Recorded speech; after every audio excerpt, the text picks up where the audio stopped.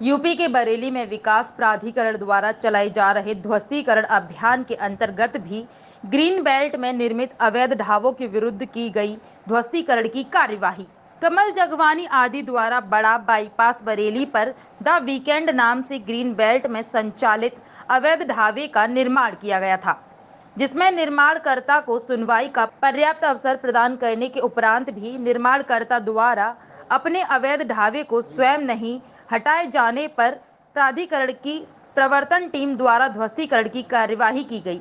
बड़ा बाईपास बरेली पर पंजाब हिमाचल नाम से ग्रीन बेल्ट में संचालित अवैध ढाबे का निर्माण कार्य किया गया था, जिसके विरुद्ध प्राधिकरण द्वारा उत्तर प्रदेश नगर योजना एवं विकास अधिनियम 1973 की सुसंगत धाराओं के अंतर्गत कार्यवाही करते हुए ध्वस्तीकरण की कार्यवाही संपादित की गई। बड़ा बाईपास बरेली पर प्रधान फैमिली ढाबा नाम से ग्रीन बेल्ट में संचालित अवैध ढाबे का निर्माण कार्य किया गया था जिसके विरुद्ध प्राधिकरण द्वारा ध्वस्तीकरण की कार्यवाही संपादित की गई। मेरा नाम निखल निशा मामला मामला ये कि जो हमारे यहाँ के प्रधान हैं जाकिर हुसैन तो जैसे हमारे यहाँ के, हमारे चाचू उठे थे, हकीम आहिद हुसैन प्रधानी में तो हमने अपनी तरफ़ से उनको लड़ाया था। तब इन लोगों की ये थी कि ये लोग हमें वोट देते, सर, ये हमारा वोट है, हमारा मन है, हमारा अधिकार है। सरकार ने जब हमें यहाँ पर दुनिया में रहने के लिए, जब खुदा ने उतारा है तो हमें अपना नियम खुद ही करना है ना? हमने उनको वोट दिया, ठीक है? अब इन लोगों का मतलब है कि वोट हमें देते, सर, ये फिर भी जीत गए। अब इन लोगों की ये रंजिश है कि ये लोग हमको हमारे भाई को जीने नहीं दे रहे हैं। अगर कुछ भी होता है गाँव में तो ये लोग हमारे भाई को ही घेरते हैं सबसे पहले। अब जैसे कि अभी तीन दिन पहले हमारे यहाँ से मोहल्ले में से गाड़ी एक उठी थी चोरी हुई थी। ठीक अब वो चोरी हुई तो उन लोगों ने कहा है किसी ने मोहल्ले में से बताया कि हमारे भाई ने गाड़ी चुराई है। अब इस, इस बात की शिकायत करी थी। सुनिए हमारी कार्रवाई कुछ हुई नहीं है सर। कुछ नहीं हुआ हमारे अब ये हुआ है, कल रात हमारे घर में हमारे भाई कल काम करके आया, खाना पीना खाया, दवा खाकर उनकी तीन महीने से चल रहा, इलाज चल रहा है। उन लोगों ने खाना खाया, भाई ने हमारे अबू जाकर छत पे लेट गए।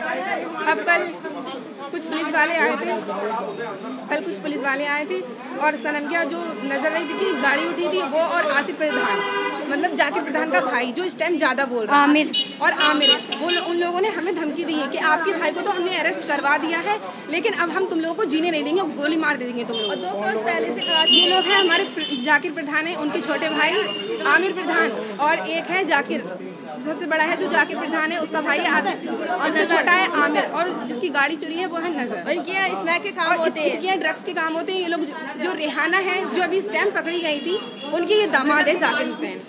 और ये लोग सरासर सब लोग हमारे लोगों के साथ साजिश कर रहे हैं हम लोगों के खिलाफ। और ये हम लोगों को जीने नहीं देना हम ये चाह रहे हैं कि हमें सुकून से जीने की दें पर।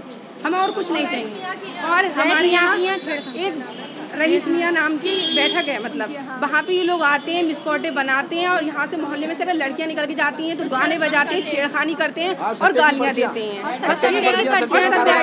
और उनके दो नंबर का काम भी होता है सर। ये मोहनपुर का मामला है सर। हमारी आप इंक्वायरी कर सकते हैं आप चाहे इन्फॉर्मेशन ले सकती हैं सर।